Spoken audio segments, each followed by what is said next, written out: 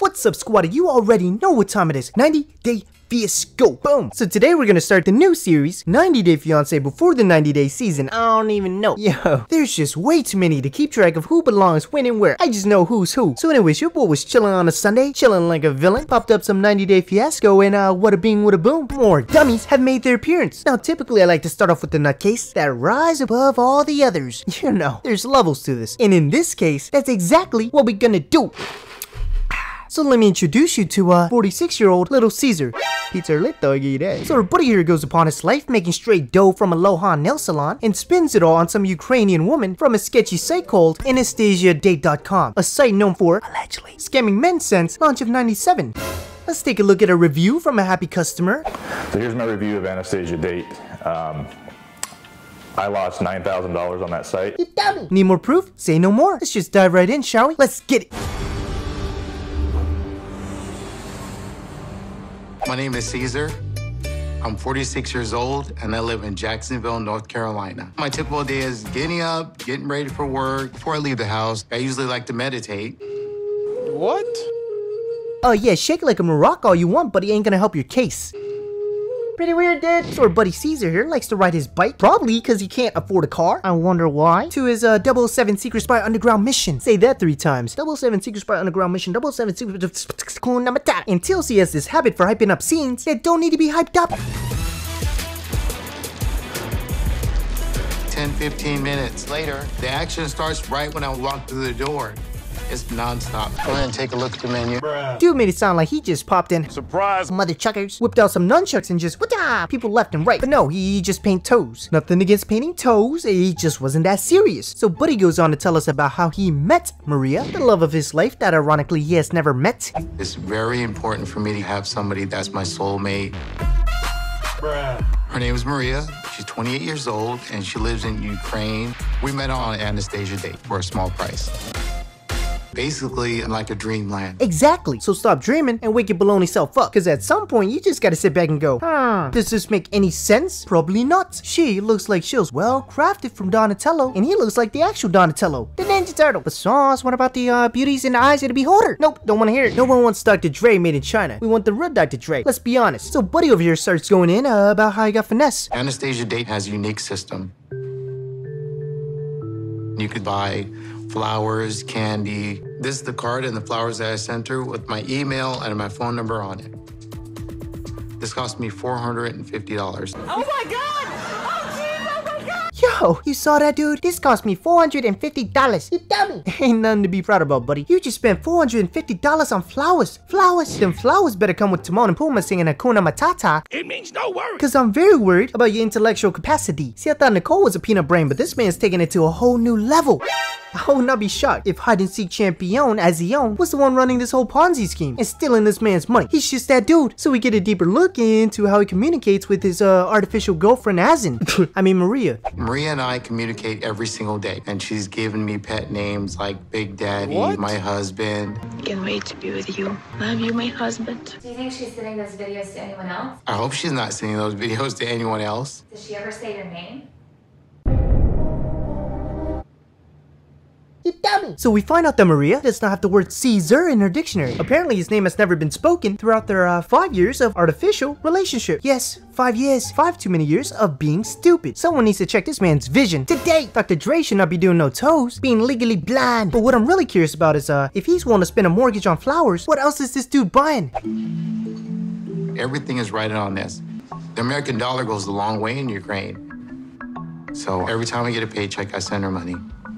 Over the years, I've sent $40,000 to Maria. Oh, oh lord, the stupidity hurts. But it gets worse. He said he spent $40,000, but it's an ongoing mortgage because currently the man is sending Maria $800 a month. I am baffled. So why is he doing this? Oh, don't. You would think that after continuously trying to meet this woman for like five years, a light bulb would appear and he would grow what we call common sense. But no, the man decides he's gonna fly to Ukraine to try to meet her. But But now she wants me to go to a resort in Mexico. I still think that we should um we should do Ukraine. Mm, I think it's a good idea, but it's now it's really cold. Like her heart. Pew pew. Alright, that was pretty bad. So Dr. Dreyer's getting into cold treatment. This dude bought the tickets, did his own lineup, the whole nine yards. And she cancels. So now she wants him to finesse some tickets to Mexico. Perfecto. Problem is, the guy's broke. Apparently every time he plans a trip, she uses the reverse Uno card. Over the past five years, me and Maria, we tried to meet up over three different occasions. Kinda like this guy. I agreed to come here and meet her. She didn't show up, had an excuse, she had to be somewhere else. And then she promised me that she would meet me. Another excuse, she changed the date, said she would come again, another excuse. Not saying you're getting scammed, yes you are, but just a thought. Did I mean thought or thought? Hmm, doesn't matter, either or. So her buddy now has to go hustle for some money. Hey, what's up, man? How you been? Hey, what's up, C? What's going on? Man, I'm doing all right. Um, I need some money so I could fly to uh, Mexico. I'll help you this time, but that, that's just it. I agreed to loan some money because that was his dream, and I wouldn't want to shatter it. That was very nice of you, Timmy. Hope you don't miss it, because it's going straight to Marie's pockets. Yeah. But you ever had that one friend who like never hits you up until they need some money? I don't, because I'm broke. But if you did, I swear it always starts with. I'm doing all right. Um, Anyways, so the minute the money shift hands, our buddy Caesar went to get the money transferred. So why didn't he just go ahead and buy the plane tickets? Good question. The reason why I'm not um, buying her own plane ticket and then sending her the confirmation code is because I trust her. What? She can buy her own plane ticket the way that she feels fit. Oh yeah, that makes perfect sense. So Einstein here decides instead of just buying her the plane tickets, maybe from Spirit, save a couple bucks, and maybe or maybe not she makes it to Mexico with guaranteed turbulence. But at least she can get a good fade with the money saved. But no, let's just send her cold hard cash. And we're all just gonna pretend that Azion's not gonna come up with like his 10th excuse to dodge another meetup with his client. Oh wait, Do you have the money that I sent you? Yes, yes, I have. Do your plane ticket yet? What about plane ticket? The plane ticket to Mexico. Don't understand what I say. Don't hear me. All you think uh, you just care about yourself. yeah, you can take Ray Charles or Helen Keller to play patty cake to see that coming. So according to Maria, despite Russia and Ukraine being in conflict for years now, uh, she'll not be able to fly to Mexico to enjoy some pina coladas next to her Walmart brand Dr. Dre. Put them on some beats and I might not even know. Anyway, so Caesar gets tossed away like a salad. Get it, Caesar? Salad? I was like, you know what? Let me do my research. Probably did a quick Google search. Uh, I did some research online and it says that you can still fly. What a shocker. So he hits her back up and she agrees to buy the plane ticket. So like every normal person, the first thing you do when someone agrees to buy the plane ticket, not show up, but just buy, is to go ahead and buy. Got it. I was looking for an engagement ring. Let me take a look at the one you got right there. Do you have a budget in mind? Yeah, it's a cheap budget. Yeah, yeah, he's, yeah. He's already sent all his money to her, so he ain't got much for a ring. See, this is the type of friends you don't want around. They just be spilling all your business, making you look stupid. Oh yes, and he still wear tidy whities with skid marks because he don't know to wipe. Really? So our buddy here is trying to buy a ring with a budget that's less than half of what he bought her flowers for, and Randy Orton here decides he wants to expose his friend and takes it up five notches. So you don't think this um pretty hot blonde has other guys that are sending her money to? We have a connection. You know, we've been talking for a long time. I know, but you don't think she could be talking to five other people the same way she's talking to you and getting money? Do you got a good uh, return policy? I am baffled. Yeah, at this point, Buddy's about two words from getting RKO straight through the glass. I don't care if Maria turns out to be a chimpanzee dressed up as a gazelle doing the maraca dance. You will not disrespect me at Bradley Jewelers in front of Samantha. I'm Susan. So Dr. Dre was like, 195 for some laboratory diamonds. Okay, I went ahead and got it snatched up. So he heads home and invites his friend Yami over to help him pack for his upcoming solo trip. I'm feeling a little nervous about the trip, so I asked my friend Yami to come and help me pack. Have you heard anything from her? Like, did she book her flight already? Is she like really excited? Like, She told me that she was gonna book her flight today. Oh! Alright, buddy, you sure you're 46 and not just a man child? How the flipping pancake did you live for 46 years and still be this dumb? That's like 17,000 days. What the heck were you doing? Darwin's theory of evolution? Yeah, clearly not working on this guy. This dude needs to be drug tested today. So we're less than a week away from pina coladas and fresh fajitas, and Maria has yet to buy her plane ticket. So he's feeling Jitters, I'm feeling nervous, I'm feeling anxious.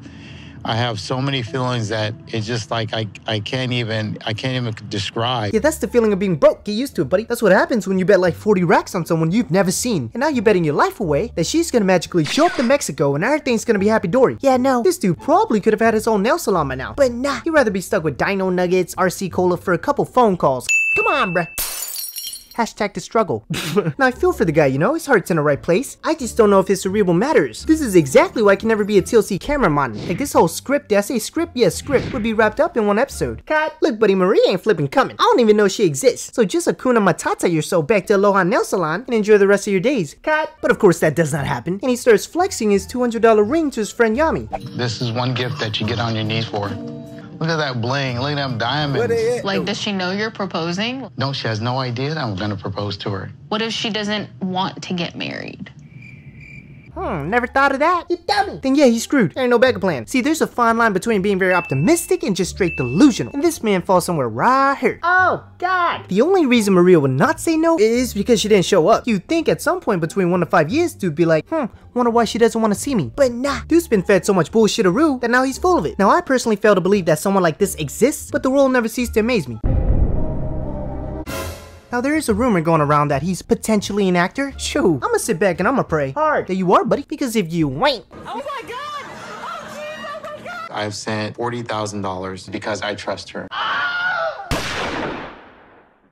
but hey, what do I know? I'm just sipping so.